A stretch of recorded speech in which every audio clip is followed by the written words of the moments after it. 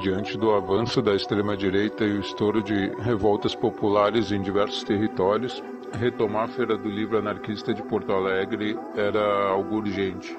Estivemos na rua no primeiro dia, colocamos a nossa faixa, mostramos a cara para dizer que o movimento está aí, qual é a ideia ou as várias ideias, que também foi aberto, todas as vertentes, todas as ideias que estão englobadas aí na bandeira do anarquismo.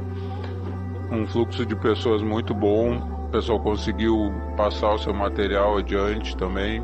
As oficinas, as trocas de ideias, uh, tivemos muita coisa muito trabalho também com os movimentos sociais, com os movimentos que estão acontecendo aqui e fora do país.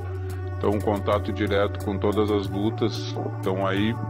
Conseguimos juntar pessoas, materiais aí que fazia tempo que não, não se encontravam no mesmo espaço.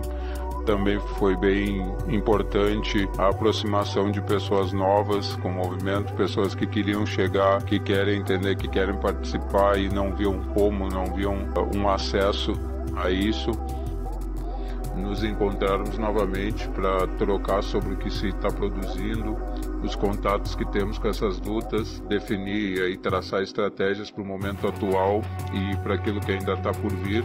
E eu acredito que esse fortalecimento se dá no encontro e que a gente precisa disso para sentir que estamos na luta.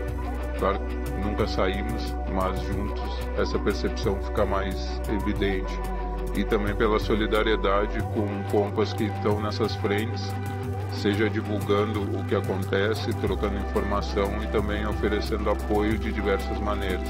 Então, na minha avaliação, foi um grande sucesso e me senti uh, contemplado com o que a gente conseguiu fazer, apesar do tempo, apesar do fim de todo o trabalho que foi para organizar.